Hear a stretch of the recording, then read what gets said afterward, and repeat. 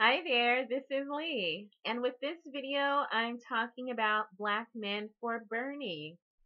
Um, there's a group of black men who supported Bernie Sanders through the primary, all the way up to the Democratic Convention, they supported Bernie Sanders.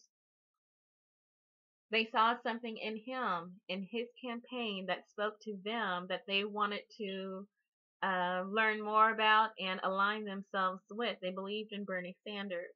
And I understand that because I believed in Bernie Sanders too. I was a Bernie Sanders supporter. After the shenanigans and dirty tricks and malfeasance and crookedness of the Democratic primary process that has been revealed to not be conspiracy theories, but actual fact, that there was collusion and corruption and deceptive practice um, against Bernie Sanders um, from various um, arenas that ensured that he lost the Democratic primary, even though he won. so once the Democratic uh, National Convention concluded, and it seemed that the Democratic Party was determined to follow through with its choice of Hillary Clinton for the Democratic nominee, many chose not to follow, fall in line, come to heel, and line up behind um, Hillary Clinton. The reason being that it still seems to escape a lot of people's notice is the fact that Bernie Sanders' coalition wasn't just progressive or liberal Democrats. Bernie Sanders had Republicans in his coalition. He had libertarians in his coalition. He had socialists in his coalition. He had Greens in his coalition. He had new voters who had no partisan affiliation in his affiliate in his uh, coalition. He had independents in his coalition. All these groups they were not partisan Democrats, and therefore they were never, ever, under any circumstances, ever going to cast a vote for Hillary Clinton. They were never her voters. They never intended to vote for her, and they likely, at this point, never will vote for her. They are not Hillary Clinton's voters. And so the hysteria and insistence and um, crazy attacks against Sanders supporters are ridiculous. Um, you cannot approach a Sanders supporter who was libertarian in the first place and say fall in line behind Hillary Clinton.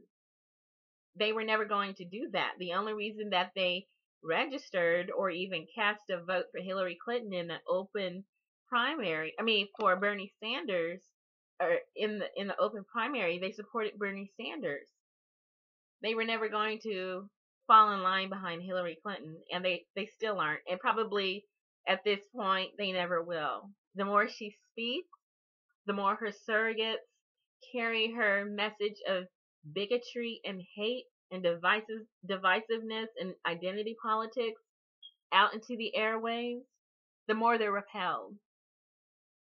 She's her own worst enemy. And so, Black Men for Bernie um, they supported Bernie Sanders. They did not support Hillary Clinton. They were never Hillary Clinton's voters or supporters. And so they supported Bernie Sanders um, after the Democratic National Convention's conclusion, when beyond a shadow of a doubt, it appears that the Democratic Party was not going to go with the stronger choice, the logical choice of Bernie Sanders. Instead, they were going to go with the most flawed candidate ever in the history of politics uh, for their nominee. People jumped ship. I mean, some went back into the Democratic Party, but others said never, ever. Um, they just do not subscribe to the ph- philosophy of win at all costs. Um, and they said, you know what? It's a criminal party. We don't want to be a part of it because only a criminal wants to associate with a criminal. Goodbye.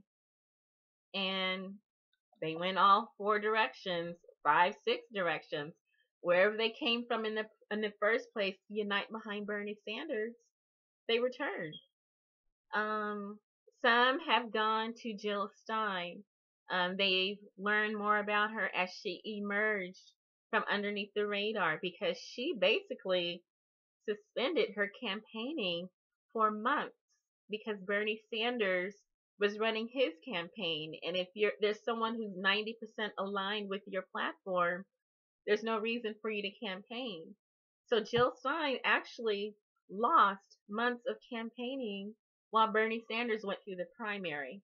Once the Democratic convention concluded, then she emerged and she came from under the radar and started her campaign in earnest, and people have been finding her. But that's not what Black Men for Bernie decided to do. It's what I decided to do. But Black Men for Bernie decided to do something else. They aligned with Donald Trump. Donald Trump asked the question, What do you have to lose? And the media propaganda as you know, attacked Donald Trump in earnest as it had been attacking him. Um, and we know that the media is pretty much corrupted now um, by the Hillary Clinton campaign and the DNC. And now that Hillary Clinton has won the primary, she's in charge of the Democratic Party. So, yes, it's the Hillary Clinton campaign that is controlling our mainstream media. They've been launching attacks against um, Donald Trump, the same sort of attacks they launched against Barack Obama, against Bernie Sanders, against Donald Trump, and against Jill Stein.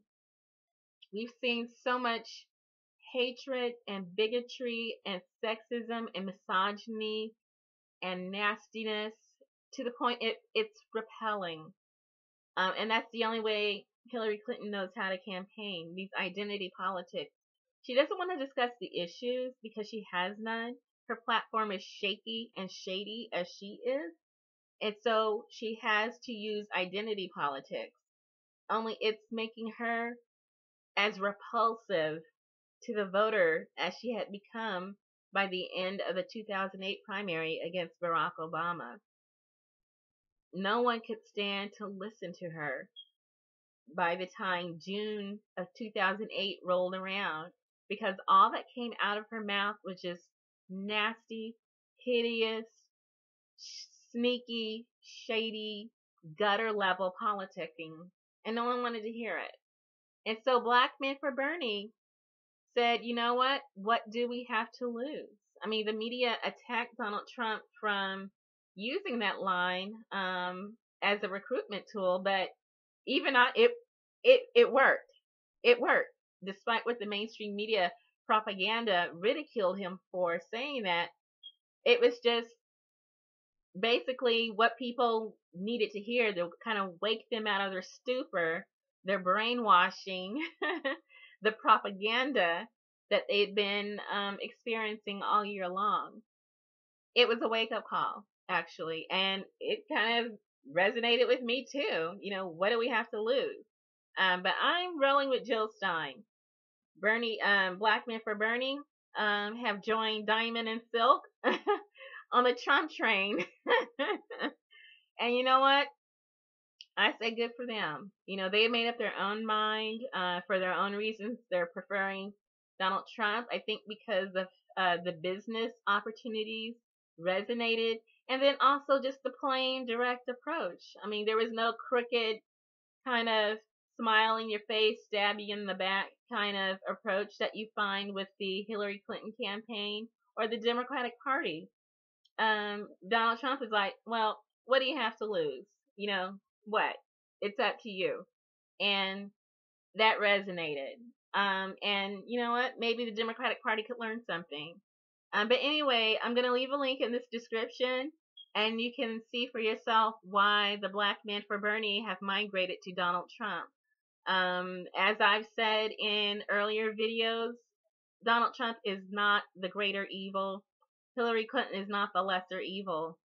Um, Donald Trump is somewhat less of a threat to the future of the black community than Hillary Clinton is. And a lot of people are becoming to see that. So I'll let you decide when you look at the uh, the article.